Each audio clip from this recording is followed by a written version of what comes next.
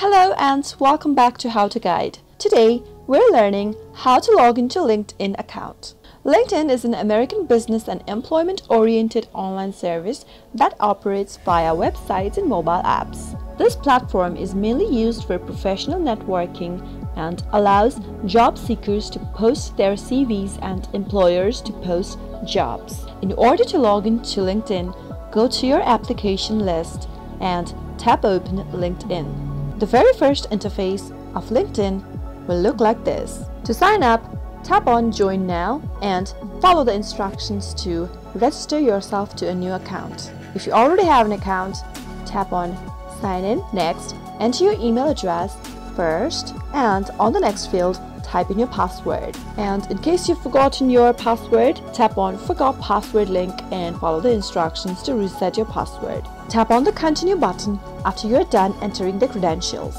And you have logged into LinkedIn just like that in no time. That is how it is done. I hope the tutorial was helpful to you.